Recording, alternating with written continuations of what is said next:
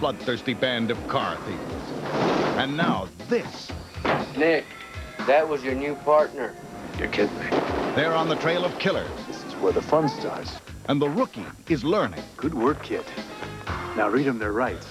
But when they kidnap Nick, he gets all fired up. Fasten your seatbelt. Clint Eastwood, Charlie Sheen, The Rookie. Premieres Sunday on HBO.